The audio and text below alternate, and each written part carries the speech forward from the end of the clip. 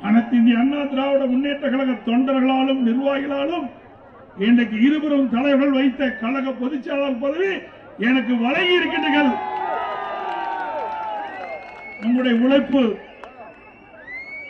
உங்களுடைய உழைப்பின் மூலமாக உருவாக்கப்பட்ட அந்த இயக்கத்திற்கு புரட்சி தலைவர் எம்ஜிஆர் இதேதும் புரட்சி தலைவி அம்மா அவர்கள் வைத்த கழக பொதுச்செயலாளர் பதவியை உங்கள் மூலமாக எனக்கு வழங்கி இருக்கின்றீர்கள் கழக பொதுச் செயலாளர் பொறுப்பை வழங்கி இருக்கின்றீர்கள் இந்த பொறுப்பின் மூலமாக அனைத்து இந்திய அண்ணா திராவிட முன்னேற்ற கழகம் எதிர் வருகின்ற அனைத்து தேர்தலில் வெற்றி பெறுவதற்கு நான் பாடுபடுவேன். அடுத்து வருகின்ற நாடாளுமன்ற தேர்தலாலும் சரி இரண்டாயிரத்தி இருபத்தி ஆறு சட்டமன்ற தேர்தல் இருந்தாலும் சரி இரண்டு தேர்தலிலும் அனைத்து இந்திய அண்ணா திராவிட முன்னேற்ற கழகம் வெற்றி பெற்று மீண்டும் வெற்றி கொடி நாட்டுவோம். மீண்டும் அம்மாவுடைய ஆட்சி மலர நாம் பாடுபடுவோம். இன்றைய தினம் தொண்டர்கள் மீதும் நிர்வாகிகள் மீதும் இன்றைய ஆட்சியாளர் திரு ஸ்டாலின் அவர்கள் பொய் வழக்கு நாள்தோறும் போட்டு வருகிறார்கள். எத்தனை பொய் வழக்கு கழக நிர்வாகிகள் மீதும் தொண்டர்களும் போட்டால் அத்தனையும் தவிடுபடியாக்கி சட்டத்தின் வழியாக நாங்கள் வெற்றி கொள்வோம். அனைத்து இந்திய அண்ணா திராவிட முன்னேற்ற கழக தொண்டரும் சரி நிர்வாகிகளும் சரி உங்களுடைய பொய் வழக்குக்கு எப்பொழுதும் அஞ்ச மாட்டோம். ஏனென்றால் உழைப்பால் உருவான கட்சி அண்ணா திமுக கட்சி. திமுக அப்படி அல்ல குடும்ப கட்சி.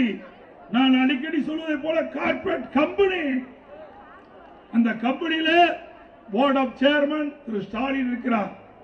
அதுல டைரக்டர் திருமதி கனிமொழி அவர்கள். அதுல டைரக்டர் இப்பொழுது புதிதாக பொறுப்பேற்றிருக்கின்ற அமைச்சர் உதயநிதி ஸ்டாலின் அவர்கள் இவரெல்லாம் குடும்பத்தில் இருக்கின்றார்கள். அதே குடும்ப கட்சி அது மக்களுக்காக சேவை செய்கின்ற கட்சி அல்ல குடும்பத்திற்காக உருவாக்கப்பட்ட கட்சி திமுக கட்சி. அண்ணா திமுகவை பொறுத்த வரைக்கும் பொன்மனச்சம்பல் புரட்சி தலைவர் எம்ஜிஆர் இதே புரட்சி தலைவர் அம்மா இருவரும் தலைவர்களுக்கு வாரிசு கிடையாது. இங்க இருக்கின்றீர்களே நாம் தான் வாரிசு. அந்த பிள்ளைகள். நாட்டு மக்கள் தான் அவர்களுக்கு பிள்ளைகள். அவர்களுக்காக இரவுகள் பாராமல் இருவரும் தலைவர்களும் வாழ்நாள் முழுவதும் உழைத்து நாட்டு மக்களுக்கு நன்மை செய்து இன்றைக்கு தமிழகம் இந்தியாவிலேயே முதன்மை மாநிலமாக உருவாக்குவதற்கு பாடுபட்ட தலைவர்கள் நம்முடைய தலைவர்கள்.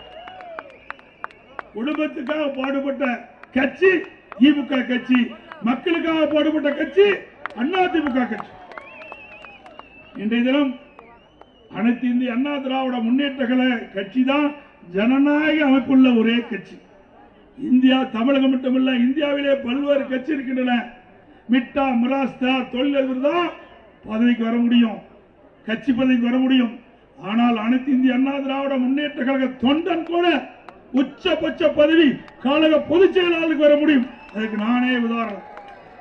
அதே போல சாதாரண தொண்டன் கூட அனைத்து இந்திய அண்ணா திராவிட முன்னேற்ற கழக கட்சியில எம்எல்ஏ ஆகலாம் எம்பி ஆகலாம்